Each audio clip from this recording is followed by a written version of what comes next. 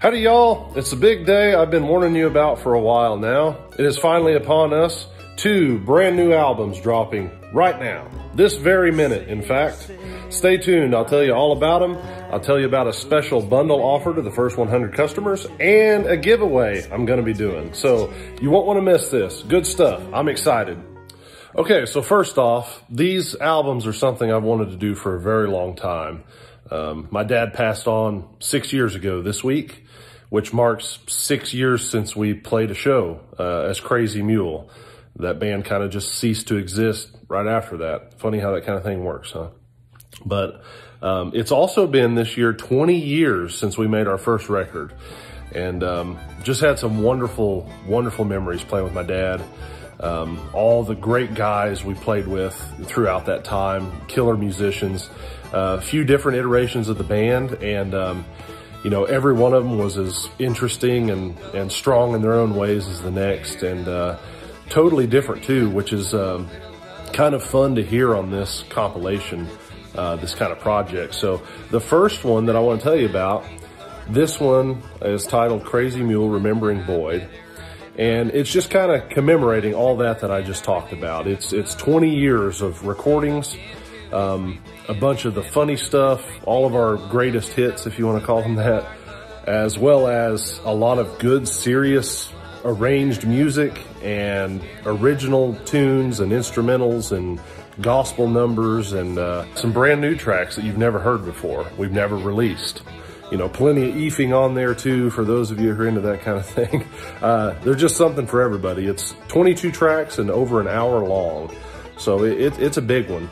It's all polished up and remastered and I'm really proud of it. Really proud of how it turned out. It tripped down memory lane. And uh, even if you weren't a Crazy Mule fan or didn't really know of us back then, um, I think this still holds up really well today in a lot of ways. Um, like I said, Dad's personality just really comes through in this, and I'm, I'm really happy with how it turned out, and I think you will be too.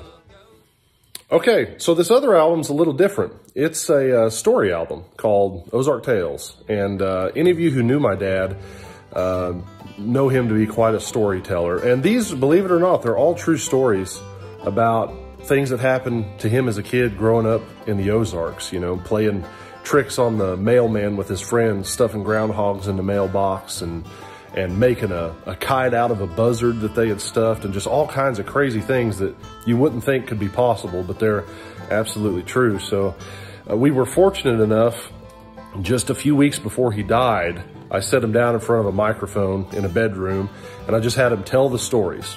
He told 10 of them. And uh, this is nearly an hour long. I think it's around 50 minutes or something. And uh, I went back after he had passed and pulled those out and um, added sound effects and everything to them, you know, atmosphere. So when he talks about walking down by the creek, you can hear the footsteps in the gravel and the creek babbling and the birds chirping and the sound effects of what's going on. So it really immerses you in the story. It's just, it's just a lot of fun to listen to. It's kind of one of those things that it can, it can take you to a different place in time if you want to spend the time and, and just kind of decompress a little bit. It's great for that. So really happy with how this one turned out too.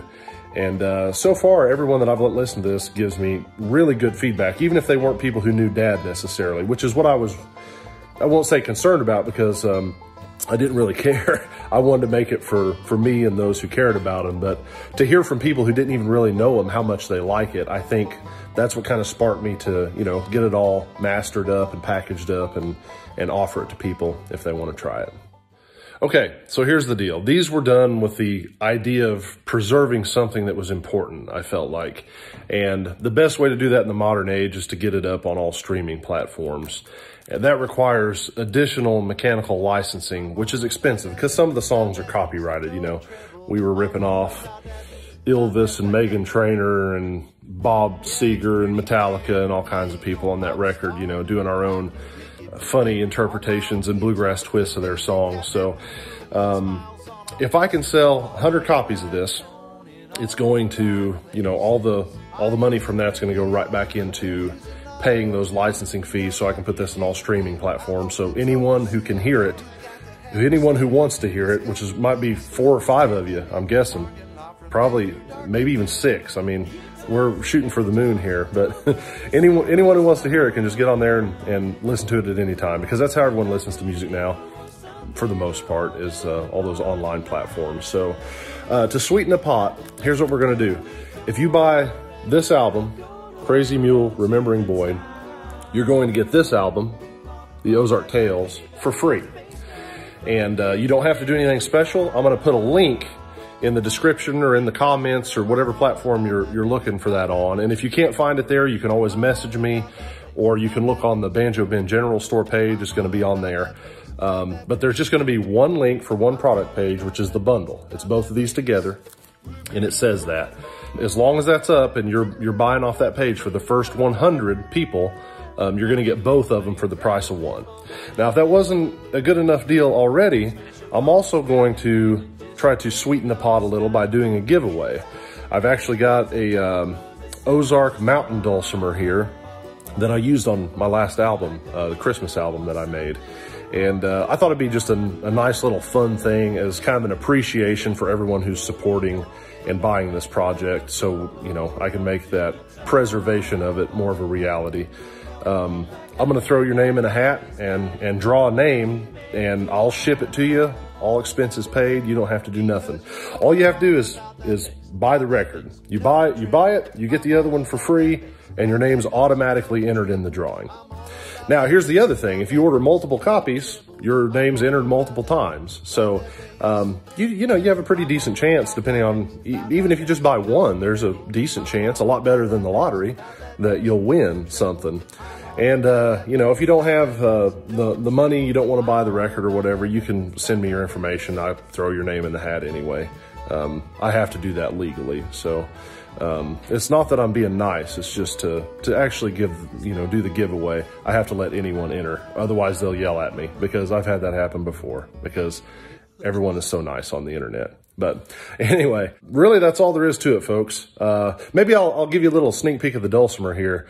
It's, uh, it's a real easy instrument to play. They remove all the frets where you could play wrong notes. You can just use one finger and strum it, all the strings, and, and make really cool music. I'll give you a little demo.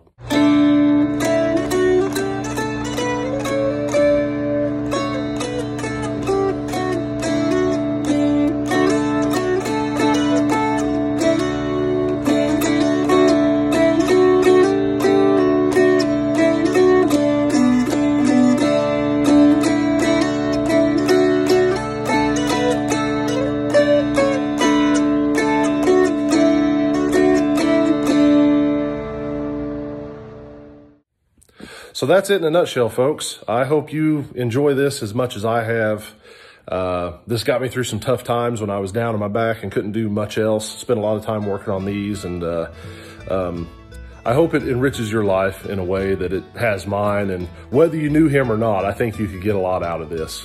And so, like always, folks, I appreciate you more than I can express. Your support has always been far more than I've ever deserved, very generous, and I'm very grateful. Thanks.